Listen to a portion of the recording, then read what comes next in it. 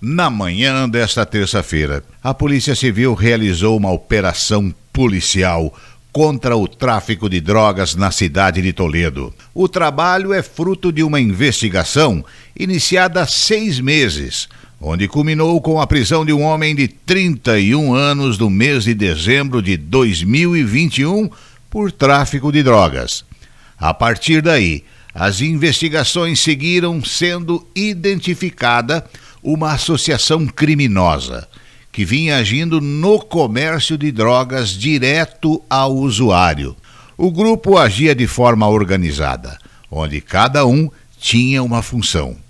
O consumidor fazia o pedido da droga diretamente ao gerente do ponto de drogas responsável pelo depósito e distribuição, que eram feitas por um motoboy que procedia à entrega.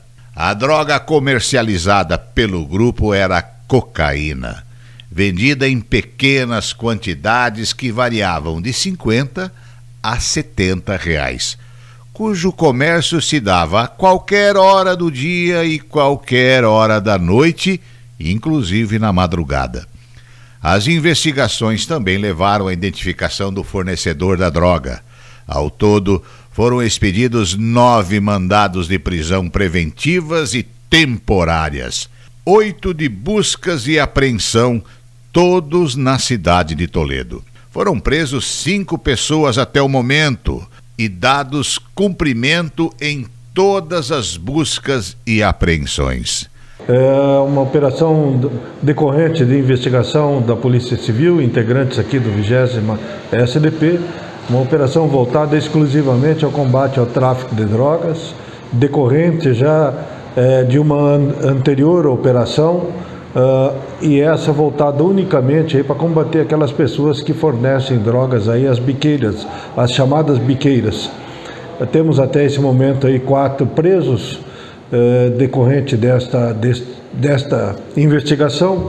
As equipes estão chegando e esperamos aí que ela tenha um êxito completo. É, nós temos nove mandados de prisão preventiva serem cumpridos e oito mandados de busca e apreensão. Até o presente momento temos quatro pessoas já detidas, as equipes ainda não retornaram, não são todas as equipes que retornaram.